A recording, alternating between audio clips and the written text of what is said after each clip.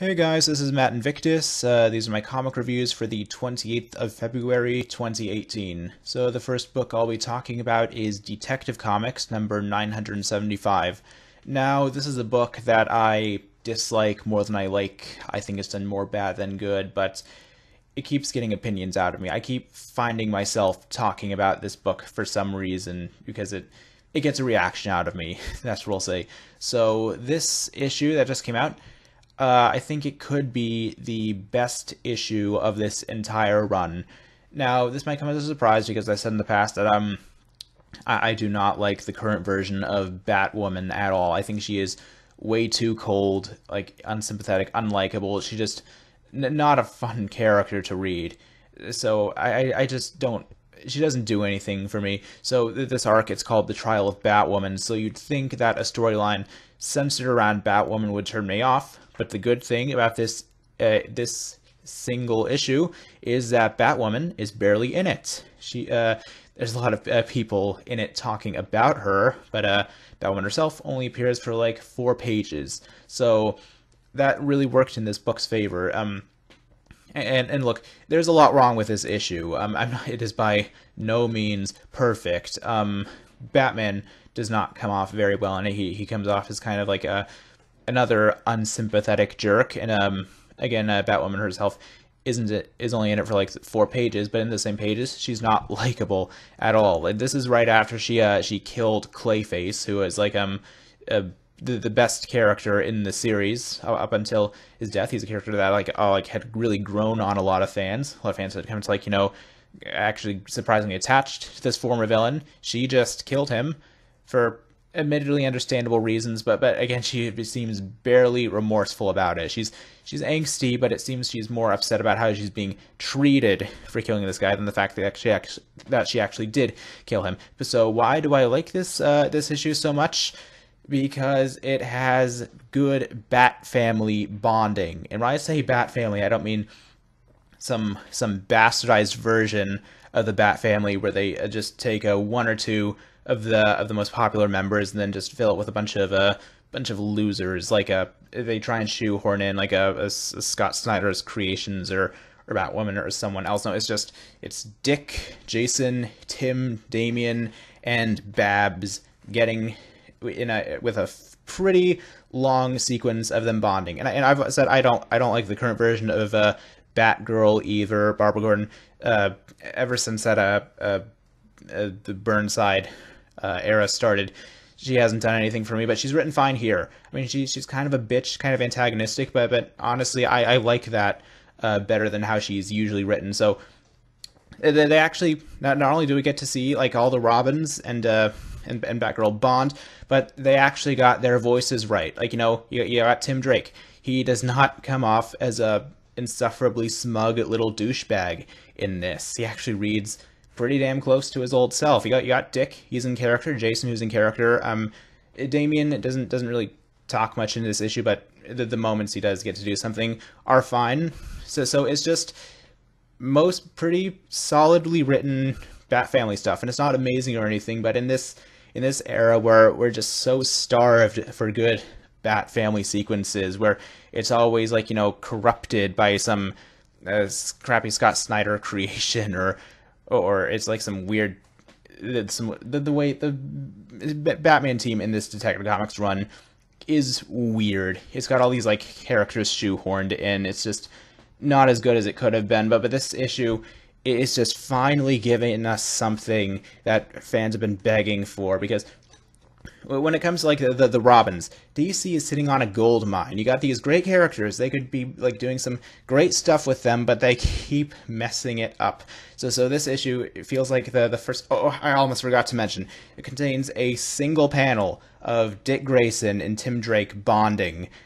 This is I don't think we've actually seen something like this since the pre-Flashpoint days. I, I don't remember a single moment in the entirety of the New 52 Rebirth where these two characters who are have well over like almost two decades of like you know friendship between them actually uh, bonding in, in, a positive way so that alone made this issue worthwhile for me so again dc is sitting on a gold mine with the robins but they just refuse to tap it so they really need to get their shit together when it comes to these eyes. But again, I am grateful to this issue, despite its problems, for finally giving us that. So, um, enough on that. Moving on to uh, the Flash number 41. Now, uh, when we left off with the Fla- the last issue of the Flash, uh, left off with the promise that um Wally West was going to be uh, the main Flash of Central City for a time, since Barry has lost his powers. And if you're a if you're a Wally fan like me, I think you will find this to be another satisfying issue because he it does treat him like a like the main Flash. It, it, it treats I should say it treats him like uh, as someone deserving of like being the main Flash. It, like it, it, treats him as like you know powerful, competent hero. It, it doesn't um doesn't throw him under the bus to prop up anyone else. It doesn't like you know really mock him or anything. He he feels like a competent hero.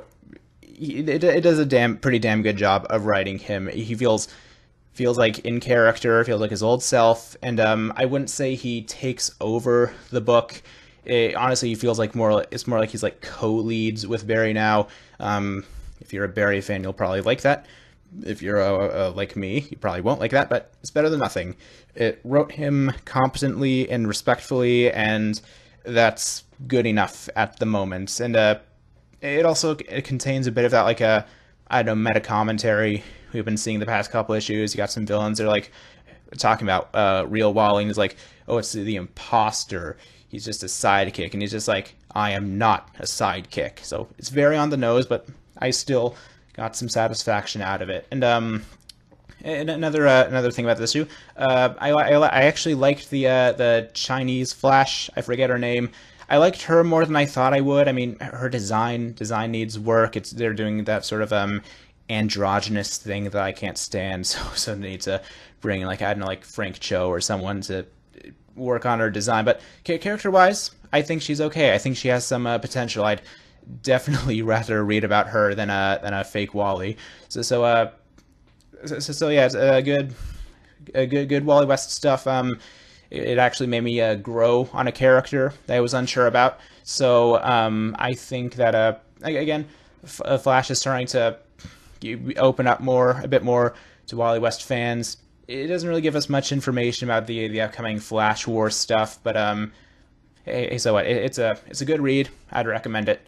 And last book I'll be talking about today is the Terrifics. So this is um, DC's like doing this new line of books called a uh, called the New Age of Heroes, and from the start, the Terrifics was the only one out of all of them that I was interested in because this is um what what most of these books are. It's basically like um DC doing their own versions of Marvel Marvel heroes. Like you got uh, this this guy called Damage. He's he's uh, kind of like a stand-in for the Hulk. You got this guy called Sideways, like Spider-Man. It's, it's like they're all um like new characters. And it's, it's I I don't give a damn about any of these new guys. DC's got all these like you know like like great characters that I really like. A lot of fans really like that they they aren't just aren't doing doing anything meaningful with. So it's like I, I just don't give a fuck about any of these new guys. But Terrific's caught my attention because what, what they're doing is like all right is dc doing their own version of the fantastic four very bra- bl- very blatantly so but that's fine but they're using characters that already exist you got mr terrific. He's he's your reed richards stand-in. He's a cool guy. You got a uh, metamorpho. He's our benjamin grimm. Then you got a plastic man who's um who's like a it's supposed to be the human torch. He's probably out of all of them he's like the the analog that makes the least sense but it's close enough close enough. But uh, and then uh, Phantom Lass, who uh, I'd never heard of up until this book came out because she's she's in the Legion of Superheroes, and I don't know much about the Legion of Superheroes at all. But but anyway, uh, a good team, mostly characters that I'm familiar with. I really like. And this uh, first issue is um basic setup issue. It's just the team getting together. Nothing nothing great about it, but you know what?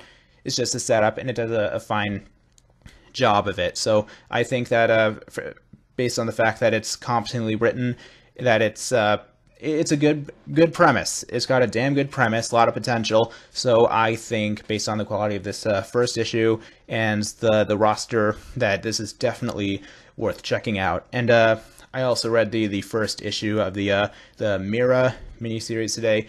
I liked it, but there's not really anything for me to say about it. Just um, it, it was good it's an okay book, and I think you should read it too. So, so uh, that's all. Thank you for watching, and be sure to subscribe. Good night, everybody.